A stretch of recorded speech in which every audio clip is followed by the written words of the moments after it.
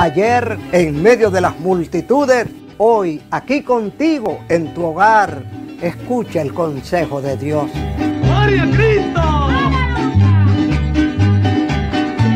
En Hechos capítulo 9, versículo 34, Pedro le dijo al paralítico Eneas, levántate y haz tu cama. ¿Cuántos hombres se levantan y dejan la cama como un nido de cucarachas, de rata, de gallina? Levántate y haz tu cama significa que yo y tú debemos ayudar a nuestra mujer, no dejarle todo el trabajo. Y si ella está dormida cuando tú te levantes, arregla la parte que te corresponde, la mitad de la cama. Levántate y haz tu cama.